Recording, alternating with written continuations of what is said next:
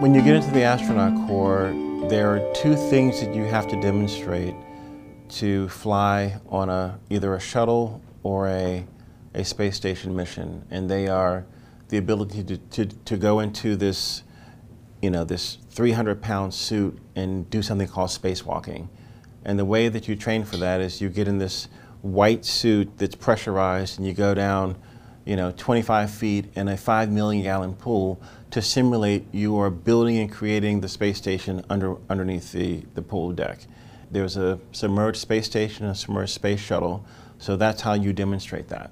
And, and when I had my chance to train in that environment, I had an accident where I lost all my hearing. And I, they operated on my ear, they went and looked around, they couldn't find anything, they told me I would never fly in space.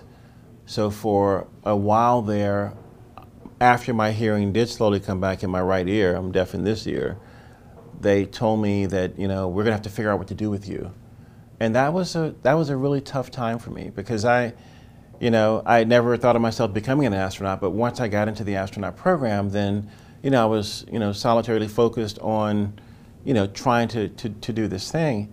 And they sent me to Washington, D.C. to work in education. We were, we were choosing teachers to become astronauts. And one of those astronauts was Ricky Arnold, who just came home about two months ago doing education in space, doing spacewalks, doing all these things.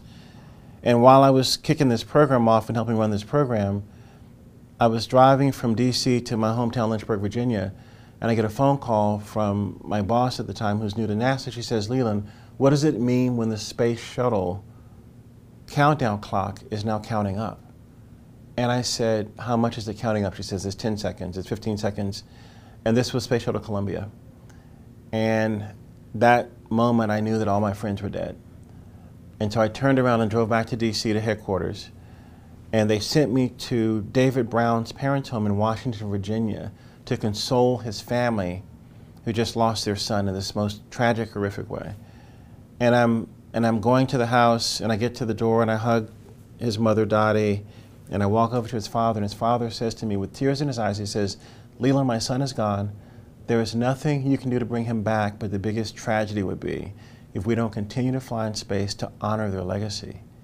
And I'm trying to figure out how I will honor their legacy if I'm not going to fly in space because I'm medically disqualified.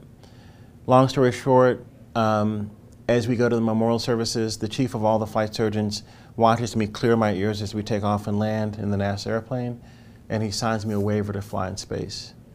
And I go back to Houston and I get assigned to a flight even though I don't have any hearing in my left ear.